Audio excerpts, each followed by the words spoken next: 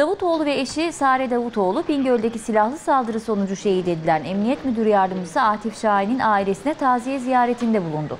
Davutoğlu ve eşi Şahin'in Ankara Yeni Mahalle'de yaşayan anne ve babasını ziyaret ederek ailesine ve akrabalarına başsağlığı diledi. Başbakan Davutoğlu Bingöl'deki silahlı saldırıda şehit edilen Başkomiser Hüseyin Hatipoğlu'nun eşini de telefonla arayarak taziyelerini iletti.